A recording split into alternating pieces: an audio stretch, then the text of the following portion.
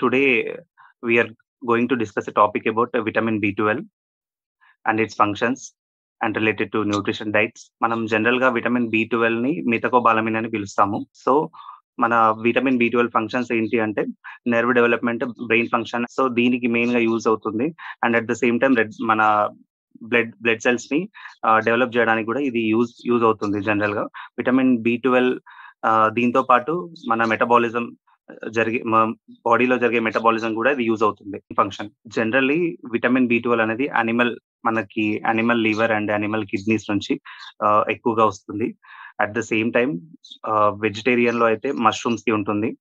At the same time fortified foods fortified cereals దీంట్లో ఉంటుంది. And some veg green leaf vegetables దీంట్లో ఉంటుంది.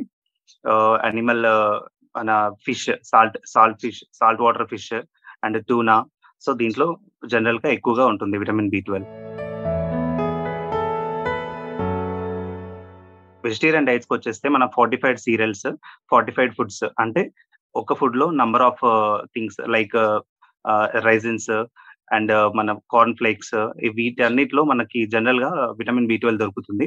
దాంతో పాటు మష్రూమ్స్లో ఎక్కువగా ఉంటుంది vitamin B twelve so non vegetarian తినని వాళ్ళకి ఈ ఫుడ్స్ అనేది పెడితే వాళ్ళకి జనరల్గా విటమిన్ బి ట్వెల్వ్ డెఫిషియన్స్ అనేది తక్కువగా వస్తుంది.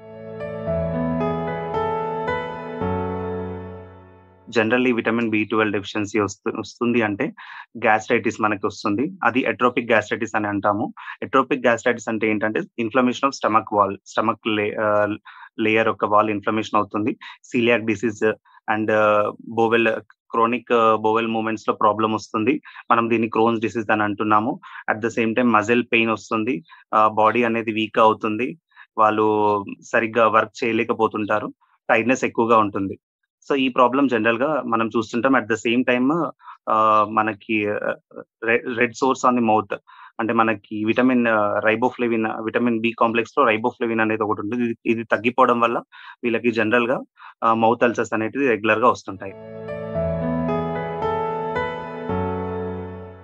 విటమిన్ బి ట్వెల్వ్ సప్లిమెంట్స్ ఇందాక నేను చెప్పిన కండిషన్స్లో అంటే హెల్త్ ప్రాబ్లమ్స్ మనకి వచ్చేసి మౌత్ అల్సర్స్ జరిగినప్పుడు అండ్ ల్యాక్ ఆఫ్ వాళ్ళు జనరల్గా వీక్నెస్గా ఉన్నప్పుడు టైట్నెస్గా ఉన్నప్పుడు అట్ ద సేమ్ టైం ఎక్కువగా ఓల్డర్ ఏజ్ పీపుల్కి విటమిన్ బి ట్వెల్వ్ డెఫిషియన్స్ అనేది ఎక్కువ వస్తుంది. సో వాళ్ళు విటమిన్ బి ట్వెల్వ్కి సంబంధించిన ఫుడ్స్ తీసుకుంటా ఉండాలి.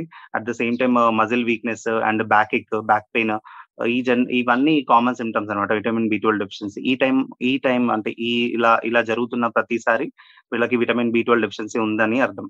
సో ఈ టైంలో ఈ కండిషన్స్లో వాళ్ళు విటమిన్ బి ట్వెల్వ్ సప్లిమెంట్స్ అనేవి తీసుకుంటూ ఉండాలి.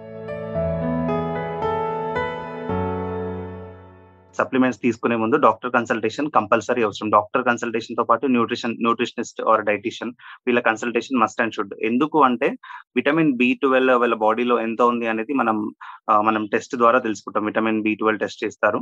సో దానికి సంబంధించిన టెస్ట్ చేశాక వాళ్ళకి రిక్వైర్మెంట్ ఉంది అంటేనే ఇవ్వాలి. వై బికాజ్ హిమట్ మనకి blood related issues haematological disorders అనేది అంటాం మనం. అది ఒకవేళ విటమిన్ బి ట్వెల్వ్ హై కనుక అయితే elevated levels of vitamin B twelve can can lead to blood blood related issues so అందువల్ల మనం న్యూట్రిషనిస్ట్ కానీ డైటిషియన్ కానీ ఆర్ఎల్స్ డాక్టర్ని కానీ కన్సల్ట్ అయ్యి ఉండాలి.